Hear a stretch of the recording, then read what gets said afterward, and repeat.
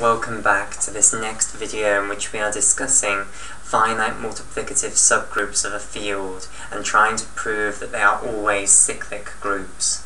Okay, right. Uh, so remember the way in which we are trying to prove this is by proving this relative theorem in group theory, which is that if you have a finite group which obeys this interesting property that for any uh, natural number d which divides the order of the finite group, little n, there exists at most d solutions to the equation x to the power of d is equal to the identity element 1, then you are able to conclude, if your finite group obeys that property, that it's isomorphic to the cyclic group uh, of the same order. Okay, so so far what we have discussed is the fact that if you have a finite group which obeys this interesting property, uh, that it contains one and only one uh, subgroup for each of the primes that appear in the prime factorization for the order of the group. Further, what we've been able to show is that actually uh, the entire group is isomorphic as far as its algebraic structure is concerned to the external direct product of its Sylow subgroups, of all of these Sylow subgroups, which you have only one of for each of the primes in the prime factorization of the order of the group. And what I now want to prove is that each of these uh, subgroups within the group capital G is actually cyclic, and then use that to prove that it implies that the entire group, which is the isomorphic to the external direct product of all of its Sylow subgroups, is actually cyclic. Okay, so we'll begin by proving then that all of the uh, subgroups are actually going to be cyclic. Okay, right, so this of course is going to come back to this property, this strange property, um, that for any d which divides the order of the group, there is at most d solutions to the equation x to the power of d is equal to 1 inside your group. That's going to be the crux to proving this. That's going to be the reason that this is true. Okay, so here is the next claim then that I want to show. So, claim. Okay, and it is of course that each of these Sylow uh, subgroups that I have, so all of the capital PIs that I have, they are isomorphic to cyclic groups of the same order. So Z and the order, of course, will be little pi to the power of alpha i, because that's the order of each of these uh, subgroups. Okay, so this is the claim I want to show you now.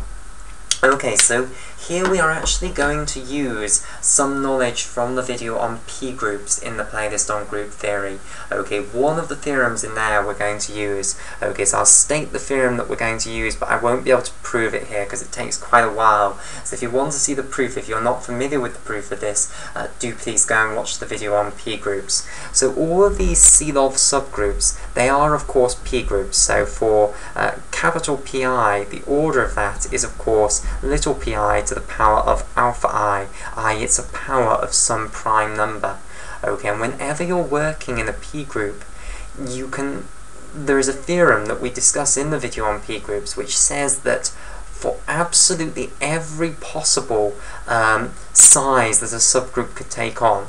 And in the case of p-groups, there aren't that many options. Okay, so the Lagrange's theorem hugely restricts us to the number of different sizes that subgroups can take on.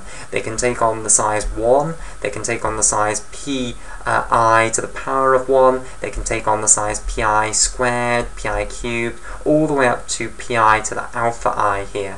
Okay, well, there is a theorem in the video on p-groups which says that there will always exist a normal subgroup of each of those possible sizes. So in particular, what I can find is some capital MI, which is a normal subgroup inside of PI, such that the order of MI is equal to pi to the power of alpha i minus 1. Okay, so one lower power of pi. Okay, and of course, this is allowed by Lagrange's theorem because this will clearly divide the order of the group here. Okay, but this exists. I can always find you a normal subgroup inside of each of your Sylow uh, subgroups which has order uh, the same prime as is in the order of the Sylow subgroup, to a power one less than it appears uh, in the order of the Sylow subgroup. Okay, right, now, it being normal isn't particularly important to us. The fact is that I have found a subgroup of that order here. Now what I'm going to do is use my strange property, okay? The property that I know that in this group capital G, uh, for any little d that divides the order of the group, there is at most d solutions to the equation x to the power of d is equal to 1. I'm now going to use little d is equal to pi to the power of alpha i minus 1. This is certainly something that divides the order of the group. Okay, what I can now conclude is that there is at most pi to the power of alpha i minus 1 solutions to this equation, x to the power of pi alpha i minus 1 is equal to 1. Okay, now, where are all of the solutions to that going to be? Well, of course, they're going to be inside mi. Okay, for exactly the same reason as we used earlier on all the elements in this subgroup of capital PI are going to have to obey this equation. They're going to have to have an order that divides the order of the group. Therefore, if you raise them to the power of the order of the group, of course you are going to get 1. Okay, so all the solutions to this equation have to be inside there. Now let's think about the elements of capital PI that are outside of MI. Okay, so I'll just draw a picture here. Here is capital PI, and inside there is capital MI. Now remember, and I'll just add a bit of colour on here, so here is capital PI outlined in green here. Okay, and here is capital MI. Okay, now remember all the elements in capital PI had to satisfy the equation x to the power of PI to the power of alpha i uh, was equal to 1. Okay, all the things in capital MI, they satisfy this more restricted equation that x to the power of pi to the power of alpha i minus 1 is equal to 1. Now clearly if you satisfy this equation, you also satisfy this equation. This is a stronger version of this. If you satisfy this, this is just this one uh, times itself pi times. Okay, if you like, it's just this raised to the power of pi an additional time. Okay, so if you satisfy this, you certainly satisfy this. Okay, um, but now let's think about the elements outside. All of the elements in this portion here. Oops, I'll just bring that back into the correct position for the camera. All of the things in PI outside of MI, this portion that I'm now uh, colouring in there in pink. Okay, well these cannot satisfy this equation because of our funny property, because all the solutions to this equation have to be in there, but they do have to satisfy that equation. Okay, so they have to be an element which if you raise them to the power of pi to the power of alpha i, gives you 1 as the answer, but doesn't satisfy this equation, i.e. their order has to be pi to the power of alpha i, because remember their order has to divide the order of the group. Their order cannot be pi to the power of alpha i minus 1, so their order must be pi to the power of alpha i. Okay, now what does that mean? That means that I have found you absolutely loads of elements of this group, capital Pi, with order equal to the order of the group, equal to Pi to the power of alpha i. So take whichever element you like from this portion, that must be a generator uh, of the group, i.e. if you generate its cyclic subgroup, it must generate the entire group, hence this group must be cyclic. So that's how I can conclude that all of these Sylow uh, subgroups are in fact cyclic uh, of order, the same order as, well, their, their relevant order. Okay, so I now conclude inside my group that obeys this strange property that all of these Sylow subgroups, which are, we know, unique, are all actually cyclic. Okay? Now I also know that the group is isomorphic to the direct product of all of these. So overall, putting all of this information together, what I can now write is that G is isomorphic to the cyclic group uh, of order P1 to the power of alpha 1, direct producted with the cyclic group of order P2 to the power of alpha 2, direct producted with all the way up to the cyclic group uh, of order PS to the power of alpha S here. Okay, so that's what I now know uh, to be true. Now, why does that imply that G is cyclic is the final question that we want to ask. Okay, because it does, but we need to understand why.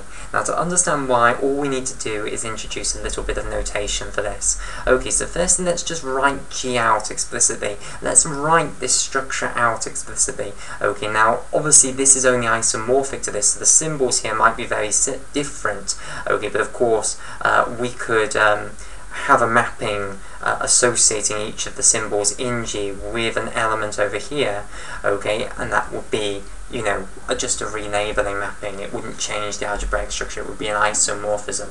Okay, so we can, if you like, I will put isomorphic rather than equals okay, more correctly.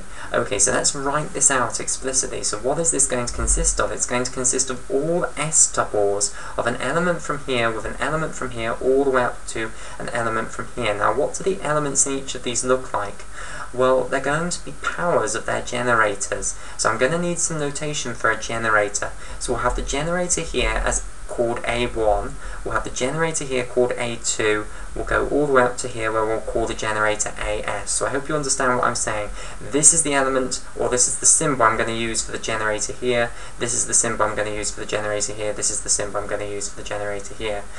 All the elements here are going to look like a power of this, so I'll have it to a power, which I'll call beta 1, and beta 1 will be allowed to um, vary between being 0, in which case we're talking about the identity element, all the way up to it'll be allowed to be less than p1 to the power of alpha 1. Of course, p1 to the power of alpha 1 is equivalent to 0, which is why we don't want it to actually, we don't want it to bother actually equaling p1 to the power of alpha 1. Okay, and for here, we'll have a2 to the power of some beta 2, and what can beta 2 vary between? Again, it can vary between 0, and it can go all the way up to p2 to the power of alpha 2 here, okay, uh, etc. So, writing this now out, the elements here are going to be these ordered pairs of this form, a1 to the power of beta 1, a2 to the power of beta 2, all the way along to as to the power of beta s, okay, where the beta i's can vary between 0 and they're strictly less than the pi to the power of alpha i, their relevant order here. Okay, right, so this is what this actually looks like. So this is identifiable. All the elements in capital G are identifiable with one of these S tuples here. Okay, so why is this structure a cyclic group? Okay, because of course if this is cyclic, then this is isomorphic to a cyclic group and is therefore cyclic. Why is this cyclic? Well, consider this element. I just need to find an element which generates the entire group. Okay, consider this element, A1, A2, all the way up to AS. What is the order of that element? What is the lowest power that I would have to raise this element to in order to get the identity back again, i.e. a1 to the 0, a2 to the 0, all the way up to as to the 0. This, by the way, is a1 to the power of 1, a2 to the power of 1, all the way up to as to the power of 1. It's all the generators, basically. Okay, well, I would need everything to, well, we know how composition works in here. We know it's just component-wise. Okay, so com composition is extremely simple. Okay, uh, and we would need everything to get up uh, well, what this means is that if I raise this to a power, so a1, a2, all the way up to as, I was getting a little bit ahead of myself, so if I raise this to a power i, it's just going to be a1 to the power of i, a2 to the power of i, all the way along to as to the power of i. Now if we want all of these to equal the identities in each of these cyclic groups, which will give us the identity in the direct product, the product group here, okay, then we need all of these i's, well we need i to be a multiple of all of these powers that you have to raise each of them to in order to get the identity back again, the orders of each of these. So each of these generators has an order. A1 it has the order P1 to the power of alpha 1, A2 has order P2 to the power of alpha 2, all the way up to AS having order PS to the power of alpha S. So we need i, in order to get this entire thing back to the identity, we need i to be a multiple of all of them. So we need it to be the least common multiple of, so I'll write this out, i needs to be the least common multiple of um, p1 to the power of alpha 1, p2 to the power of alpha 2, all the way up to uh, ps to the power of alpha s. Now hopefully it should be obvious to you that those are all relatively prime and therefore their highest common factor is equal to 1. Just look at their prime factorizations. They're already in their prime factorizations. Their highest common factor is clearly 1, therefore their lowest common multiple is just the product of all of them. So you'll need i to be equal to p1 to the power of alpha 1, p2 to the power of alpha 2, all the way up to ps to the power of alpha s before this will actually return to the identity element. So this, the order of the entire group, may I point out, is the order of this element where we have the generator in each of the slots. And therefore, this element, when you go through all of these different powers of it, must go through every possible element of this group on its journey to get back to the identity element or to get to the identity element. Okay, and that therefore is a generator of the entire direct product group here. Okay, and therefore this is cyclic of order p1 to the power of alpha 1, p2 to the power of alpha 2, all the way up to ps to the power of alpha s, which is of course just n, and therefore we can conclude that G is indeed isomorphic to the cyclic group of order n. Okay, so any finite group that obeys that funny property that for any little d which divides the order of the finite group, there is at most d solutions to the equation x to the d is equal to 1, uh, will be uh, cyclic. Okay, and we have clearly shown uh, that uh, a finite multiplicative subgroup of a field is going to obey that property, and therefore we can conclude that a finite multiplicative subgroup of a field is always isomorphic to a cyclic group of order, whatever the order of the group is. Thank you.